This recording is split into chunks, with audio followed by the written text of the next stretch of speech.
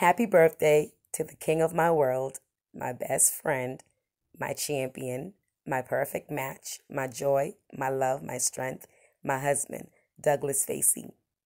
I thank God for joining us together with his divine love.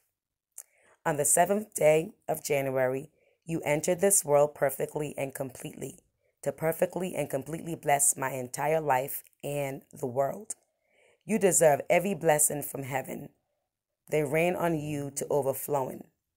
You're the kindest person I've ever met.